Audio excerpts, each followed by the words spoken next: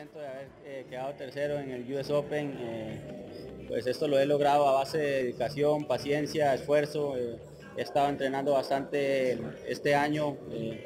estuve en varias competencias antes de estar en esta, así que como se dice, recibí palo, estuve perdiendo en primera ronda durante varios eventos hasta bueno, encontrar el ritmo en Acapulco. Logré ganar mi primer evento de QS y ahora bueno, lo, paso al siguiente y quedo tercer lugar, así que creo que eh, es base de dedicación y esfuerzo. Bueno, estuve en, en- el Caribe, en Barbados, eh, Martinique, fui a, a Sudáfrica, estuve durante mes y medio por allá, diferentes playas de Sudáfrica, eh, en agua fría, en agua caliente, en agua tropical.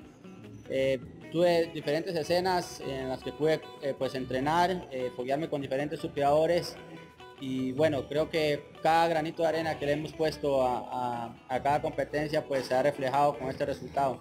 La verdad es que decirle a todos que, siempre sigan sus sueños.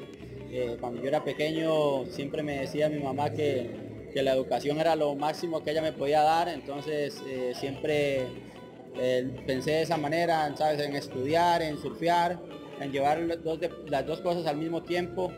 Eh, nunca, nunca perder eh, la motivación, no importa que alguien le diga cosas negativas, cosas así, confiar mucho en Dios y, y- en algún momento Dios se los va a dar, así que nunca dejen de soñar.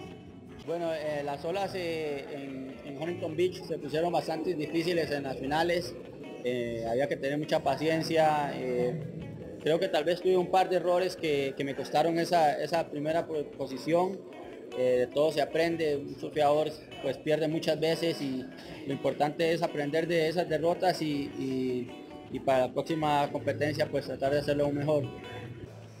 Estoy yo, ¿verdad? Está también Noemar McDonagall, que quedó campeón mundial de ISA por Costa Rica.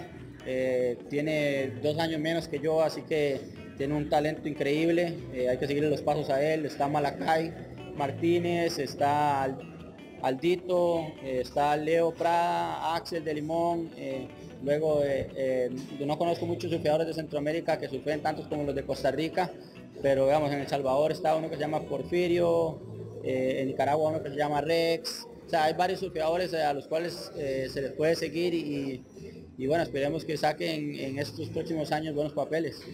Creo que las olas, eh, la Federación de Surfing de Costa Rica que está acá tiene un circuito muy, muy bien planteado, eh, donde tiene ocho fechas, eh, han venido haciendo se- semilleros de, de surfeadores durante bastantes años y, y bueno, también el que la federación los apoye a los surfeadores es muy importante, así que creo que eso ha sido lo que ha, ha marcado la diferencia con respecto a los otros países centroamericanos.